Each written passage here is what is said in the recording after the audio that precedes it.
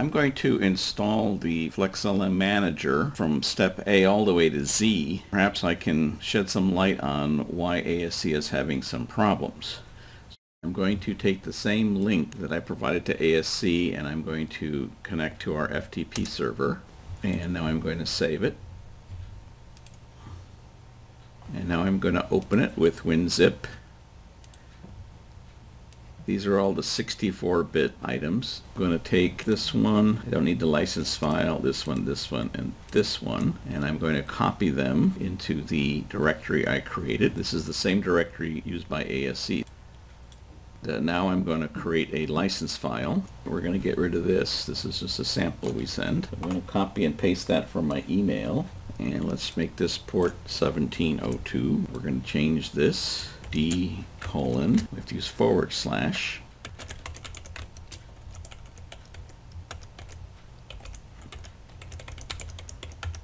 Okay, so we'll save this.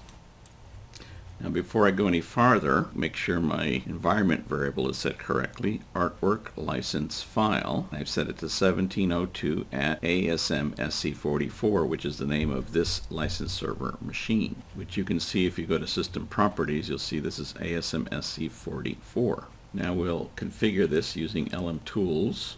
And the first thing I want to check is to make sure that my host ID is correct, which it is. That's the host ID for my computer here. The second thing I do is go to Utilities and list all vendor paths and you can see that it sees the artwork and it sees 1702 at ASMSC44. Now we're going to go to Config Services and you can see I already have the Cadence license server running and I'm going to create a new service. So I'm going to call this new service artwork. Browse to this directory.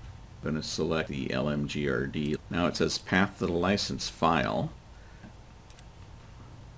path to the debug file dot text there. Okay. Now this is the wrong dat file. If I try to start this now, I should get an error because right now I'm using the ASC information. So let's just see what happens. Use services and start server at PowerUp. Okay, and now I save the service. Okay, this doesn't start the service. You have to go over here to start the service and click start you can see that log file was created and has something in it. So let's see what it says there. See, it didn't like this because the server name I put in doesn't match my server name. So now let's modify this and see what happens when we put the correct information in. The first thing is that my server name is ASMSC44. This doesn't change any. My license codes have to be matched to my computer and my host ID is that. Save that. So I just ran server status and you can see that it's not very happy with this guy, right? Now the message it's giving you is that it can't connect, but that's because it's not running. So let's see if we can uh, fix this up and click start server again. And this time we see successful. So let's see what the log file has to say. You can see what time I did this on Monday, approximately 9 o'clock in the morning, and it reread the license file with the correct information now. It tells you what version of the LMGRD is running, x64, okay, and it started on my computer. And it tells you that it's listening on port 1702. And now it starts the vendor daemons. And here it starts the artwork daemon. So that's good. And here it tells you the product ACS5II is the Gerber view code. And it tells you this is the port that the Gerber view daemon is talking back to the application on. So it worked perfectly, and I should be able to get a license now. So I'll double click on Gerber View, and you can see that I got a license. If we go to Help and About,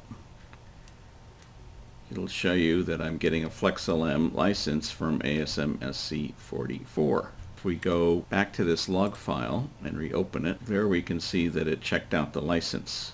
What are these other features here? Well, Gerber View is able to get a license from a number of other products. So it's actually going through a list of products until it finds one where it can check out the license. This is not actually any problem. It's just the way that the program is designed to determine what features might be licensed. 511 is the one that we generate a license for, and 511 is the one that got checked out. If we close Gerber View, and then we look at the log file again. Here we can see that the file was checked back in, so it's available again. So that's showing that it actually works. Now what's going on with ASC, I cannot say because I don't have all the information, but I verified you can download the license file and get it to run, and you should be getting a log file.